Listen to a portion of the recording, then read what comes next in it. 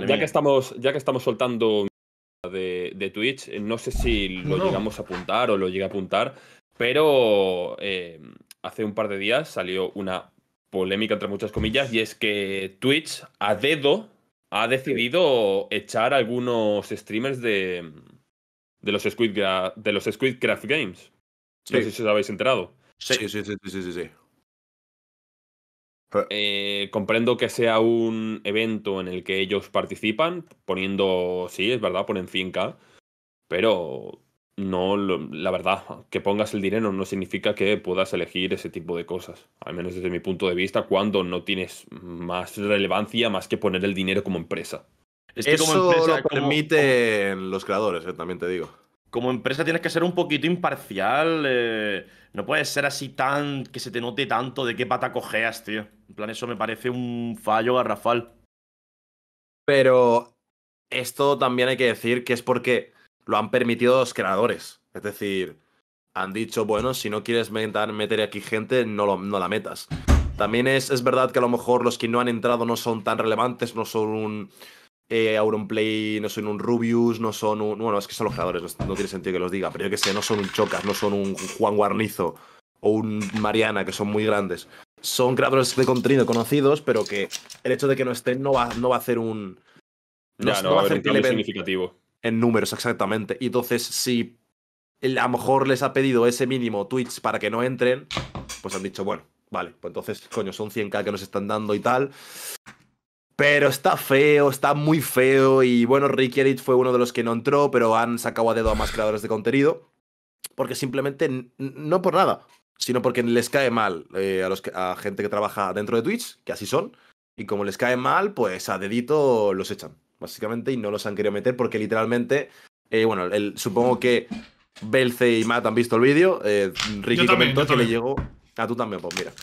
Ricky recibió una lista de creadores expulsados a dedo, sin un motivo como tal, de, de estar fuera porque no les cae bien a Twitch o por lo que sea, por problemas sí. con la plataforma, cuando, por ejemplo, Ricky no ha sido baneado prácticamente nunca de la plataforma, eh, etcétera. Igualmente, bueno, al final son empresa privada y derecho a admisión, ¿no? Está feo, está feo. Tienen derecho, tienen derecho. O sea, es que luego, pues que no vayan de. Todo por nuestros creadores, os queremos mucho. Ja, ja, ja. Que, que, que vayan con la verdad por delante. Sí, que luego Y- gente que tiene los números de sobra, por ejemplo, eh, le están meses y meses y meses y meses rechazando el socio, ¿verdad, Belce? Oh. Y tanto. Y luego se lo dan a quien, pues a quien les parece. Sí, A un random el cualquiera, pues toma, a ti a la primera. Ah, tú que eres, eres mi primo, pues toma. Literalmente. Literalmente, porque ha pasado también con, con, con más personas, que yo conozco casos que se han tirado muchos meses cumpliendo siempre a dedo los requisitos y nunca se lo daban. En fin, eh, En Twitch fin. siendo Twitch y demostrando que también es que hay pocos trabajadores en Twitch España y son muy de que si no les caes bien te cortan los cojones. Y no broma. O sea, te ponen las trabas que sean posibles.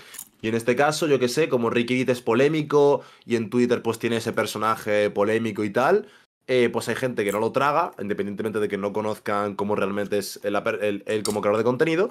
Y pues habrá alguien de Twitch que tampoco le ha gustado eso y dice, ah, pues no, pues no vamos a meter a Ricky Dit, al Pues igual este- que otros este creadores no. de contenido. Este fuera, este no me Este gusta. fuera cuando el evento no es tuyo. Es decir, yo, yo entiendo lo que dice Belce. Yo entiendo que tú pones 100k y tú dices, mira, mis únicos. eh, en mis únicas peticiones, ya que este evento no es mío, es yo pongo los 100k, lógicamente está patrocinado por Twitch Rivals, pero te pido que a lo mejor esto y esto no se haga o no se diga y estos creadores no entren.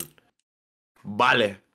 Ok, estás en tu derecho de pedir unos, unos mínimos, pero es feísimo dejar aparte a creadores como en plan a creadores que simple y llanamente no te gustan. Y ya está, en plan, no te caen Sí, bien es que, o, no, ver, o no le comen la a polla a la plataforma, literalmente.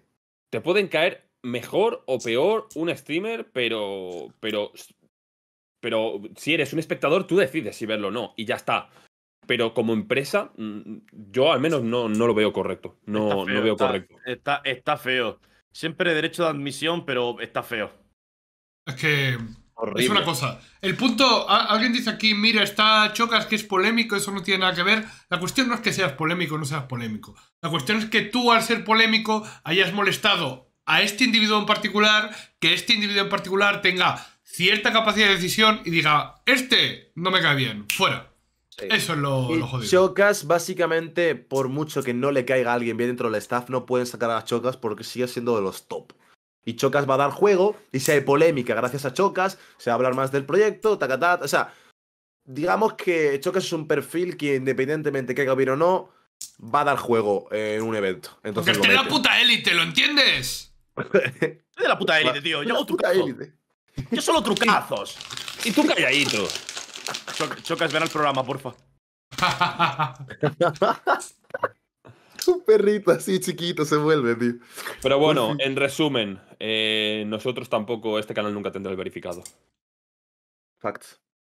Nada, el año que viene, el año que viene. Cuando vayamos a los Eslan y nos hagamos bro de todos, no, no haciendo colle, bro, simplemente, nos meterán a los eventos, confía. pero, pero nunca.